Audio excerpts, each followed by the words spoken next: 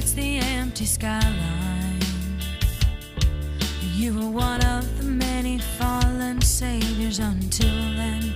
Unsung, I saw your flame rise through the empty skyline as you burned into memory eternally, so vibrant and young. 9 11, New York City, The Days After, is a book of historic record that includes the stories, poems, art, and photographs of all who were in the metropolitan area on that life changing day.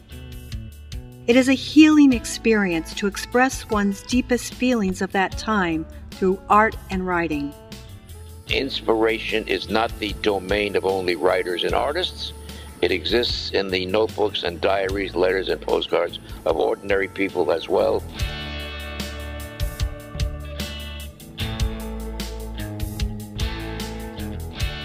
The Tao says, by small actions, accomplishing great things. One word tells a thousand stories. One picture is worth a hundred glances. These personal essays allow the reader to feel many individual experiences.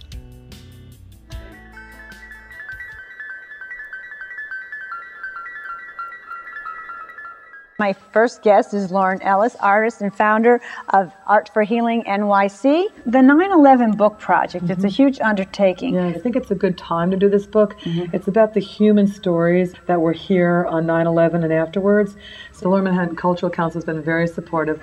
This is the second grant we got from them. Last year, we got a grant to teach workshops to children. Mm-hmm. And this year, with um, the 9 11 Book Project, they're supporting our readings. Tell us how you got on board I guess it's a challenge, quite a challenge to deal with this um, very sensitive topic, especially for me, maybe as a European. It is a big project, and as my videographer says, um, working with a documentary, he uses the word Herc- Herculean, you know, feat. Herculean effort. Herculean effort. there you yes, go. thank yes. you.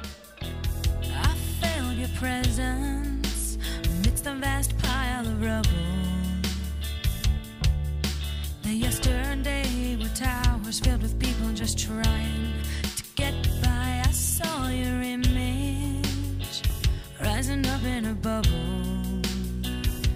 Out of the ashes did come good. I know that for each of us who lost a loved one, it took much courage to go on. I'm immensely proud of my husband, Rick Rescorla, and what he did on 9-11. Rick Rescorla helped save 2,700 people from the South Tower, but then lost his life. I feel he is a new hero in our new millennium. I am honored that Art for Healing New York City organization is dedicating this unique book to our firefighters and police officers and to my late husband who was my true love forever. We are donating the books to New York City public libraries and making copies available to libraries across the country. The proceeds raised from the book will help support healing workshops for children, the elderly, and other visual and performing arts related activities. Please visit our website to learn more about the 9 11 book and the opportunities we offer to the artists and the community. Art for Healing NYC's mission is to help visual and performing artists share the healing power of their art with the community. The Tao says, we cannot change the cycles of life to suit ourselves, but we can learn to flow with them. We fear the great unknown, unaware that no matter how tightly we cling to the familiar, the only constant in life is change.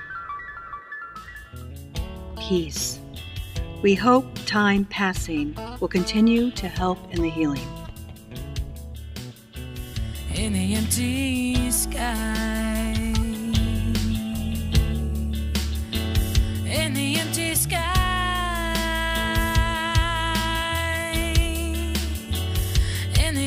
Sky.